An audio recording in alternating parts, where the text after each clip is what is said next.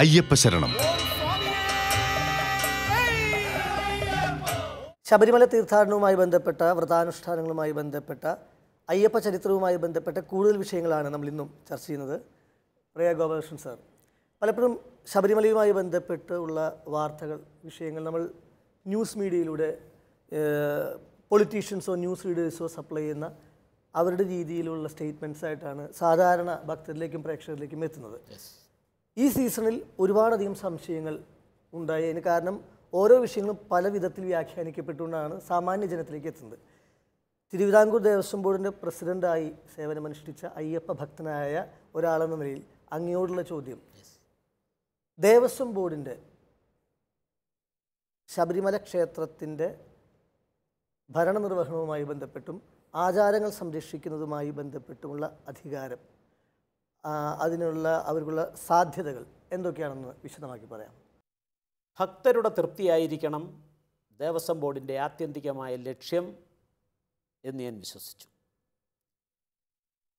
വിശ്വാസ ആചാര അനുഷ്ഠാനങ്ങൾ ക്ഷേത്രത്തിന്റെ ക്ഷേത്രദേവന്റെ ചൈതന്യം നിലനിർത്തുന്നതിന് അനിവാര്യമാണ്. അതിന് കോട്ടമുണ്ടാകുന്ന എന്ത് പ്രവൃത്തി ഉണ്ടായാലും ഭക്തർ പ്രതീക്ഷിക്കുന്ന ചൈതന്യത്തിൽ നിന്ന് ആവശ്യമായ സംരക്ഷണം ലഭിക്കില്ല. ആ സംരക്ഷണം ലഭിക്കുവാനുള്ള പ്രവർത്തനങ്ങൾ പരിമിതമായ സമയേ ഉണ്ടായിരുന്നുള്ളൂവെങ്കിലും അത് വളരെ സംശുദ്ധമായി വിനിയോഗിച്ചു എന്ന ആത്മസംതൃപ്തിയിലാണ് ഇപ്പോഴും ഞാൻ നിലനിൽക്കുന്നത്. ആളുകൾക്ക് കൂടുതലായിട്ട് അറിയേണ്ട കാര്യം ഒരുപക്ഷെ അവർക്ക് അറിയാത്തൊരു കാര്യം നമ്മൾ വ്യക്തമാക്കേണ്ടത് ഇപ്പോൾ തന്ത്രി ഭഗവാന്റെ പിതൃസ്ഥാനീയനാണ്. അവിടെ ഒരു ആചാര ലംഘനം നടന്ന ശുദ്ധിക്രിയ സ്വമേധയ ചെയ്യാൻ അധികാരമുള്ള ഒരാളാണ്. എന്നിരിക്കെ തന്നെ ആ അധികാരത്തെക്കുറിച്ചും അദ്ദേഹത്തിന്റെ അത്തരത്തിലുള്ള അവകാശത്തെക്കുറിച്ചും ഉത്തരവാദിത്വത്തെക്കുറിച്ച് പോലും സംശയമുള്ള വിധത്തിലുള്ള ഒരുപാട് സ്റ്റേറ്റ്മെന്റ്സ് വരികയുണ്ടായി. അതിനെ കൃത്യമായി അങ്ങയുടെ അനുഭവത്തിൽ നിന്നും അറിവിൽ നിന്നും എങ്ങനെയാണ് കൂടുതൽ സുവ്യക്തമായി പറയുക? പുരോഹിതൻ എന്ന നിലയിൽ അല്ലെങ്കിൽ ആചാര്യ ശ്രേഷ്ഠൻ എന്ന നിലയിൽ താന്ത്രിക ആഗമ ഷടാധാര പ്രതിഷ്ഠ നടത്തിയ ക്ഷേത്രത്തിന്റെ പ്രതിഷ്ഠ നടന്നു കഴിയുമ്പോൾ അദ്ദേഹം ഒരു നിത്യ നൈമിഷിക നിഷ്ഠ പ്രഖ്യാപിക്കും.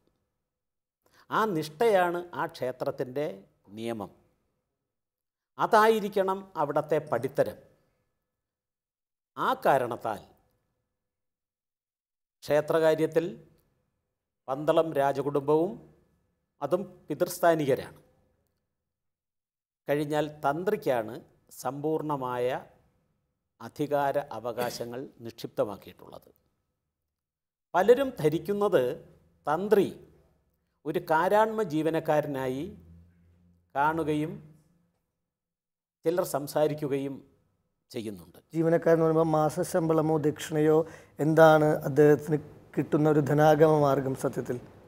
തന്ത്രി ഒരു ജീവനക്കാരനല്ല. തന്ത്രിയെ ക്ഷേത്ര തന്ത്രി എന്ന നിലയിൽ അദ്ദേഹത്തിന് കൊടുക്കുന്ന ആയിന്യം ദക്ഷിണയാണ്. പലരും ഇതൊരു കാരാൺമ ജീവനക്കാരൻ എന്ന നിലയിൽ കരാറുകാരൻ എന്ന നിലയിൽ നടപടിയെടുക്കും എന്നൊക്കെ പറഞ്ഞിട്ടുണ്ട്. ഒരു മന്ത്രി പറഞ്ഞത് കട പൂട്ടിയിട്ട് പോകുന്നത് പോലെ നട പൂട്ടിയിട്ട് പോകാൻ പറ്റില്ല എന്ന് ക്ഷേത്രം അടയ്ക്കേണ്ടത് അനാചാരം നടക്കുമ്പോഴാണ്. ആചാരവിരുദ്ധമായ പ്രവർത്തനം നടക്കുമ്പോഴാണ്. മുൻകാലങ്ങളിലെ ചരിത്രം എടുത്ത് പരിശോധിച്ചാലും അതുണ്ടായിട്ടുണ്ട്.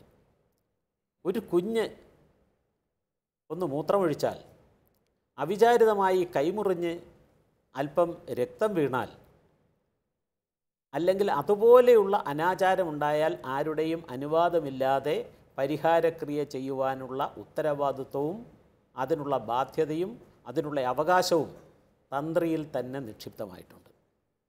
നിയമം പരിശോധിച്ചാൽ നിലവിലുള്ള തിരുവിതാംകൂർ കൊച്ചി ഹിന്ദു റിലീജിയസ് ഇൻസ്റ്റിറ്റ്യൂഷണൽ ആക്റ്റാണ് ശ്രീ മന്നത്ത് പത്മനാഭനും ശ്രീ ആർ ശങ്കറും ചേർന്ന് കൊച്ചുകൂടി ഇതിന്റെ ഭാഗമായപ്പോൾ തിരുവിതാംകൂറിന്റെ ഭാഗമായപ്പോൾ എടുത്ത ആദ്യ നിയമമാണിത്.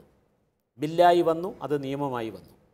ആ നിയമത്തിന്റെ പരിരക്ഷയിലാണ് ആദ്യ ദേവസ്വം ബോർഡ് പ്രസിഡന്റ് എന്ന നിലയിൽ മന്നത്ത് ശ്രീ മന്നത്ത് പത്മനാഭൻ അവർകൾ ഭരണം നടത്തിയതും ജനപ്രതിനിധി എന്ന നിലയിൽ നിയമസഭാ സാമാജികൻ പ്രജാസഭയുടെ സാമാജികൻ എന്ന നിലയിലാണ് ശ്രീ ആർ ശങ്കർ ഭരണസമിതി അംഗവുമായത്.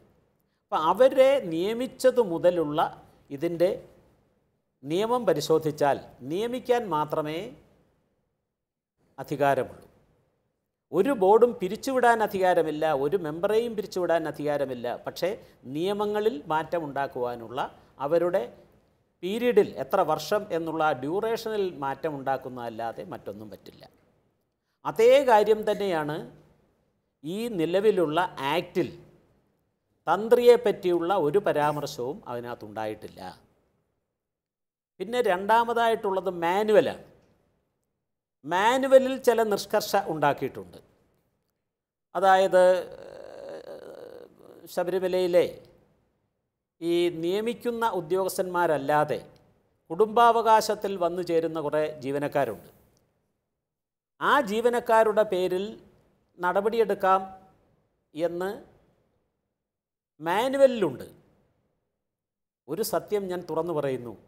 മാനുവൽ എന്ന് പറയുന്നത് നാളിതുവരെ ഗസറ്റിൽ പബ്ലിഷ് ചെയ്ത്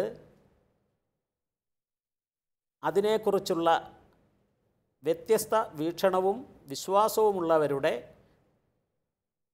പരാതി കേട്ട് അതിന് പരിഹാരമുണ്ടാക്കി സമ്പൂർണമായ എതിർപ്പില്ലാത്ത മാനുവൽ ഇന്നുവരെ പ്രസിദ്ധീകരിച്ചിട്ടില്ല.